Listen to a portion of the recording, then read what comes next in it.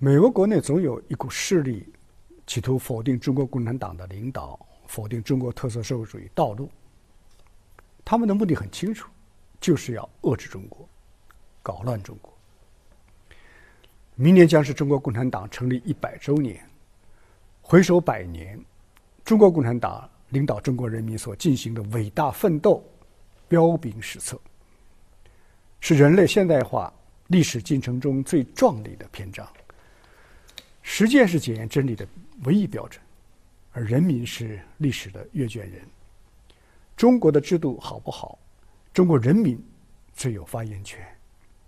近年来，不少国际机构的民调显示，中国民众对政府的信任度超过了九成。中国共产党与中国人民的关系，如同鱼和水一样交融，如同大地和种子一样共生。试图割裂和挑拨中国共产党和中国人民的血肉联系，就是与十四亿中国人民为敌。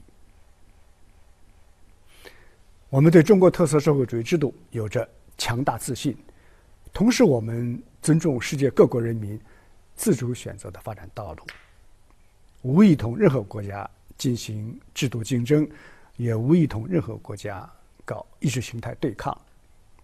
我们希望美方。也能尊重中国的社会制度，尊重中国人民的选择，放弃注定失败的干涉主义。